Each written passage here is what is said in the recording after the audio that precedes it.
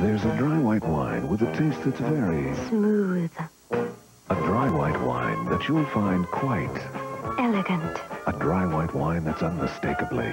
Hochtaler. Distinctively dry. Hochtaler Dry.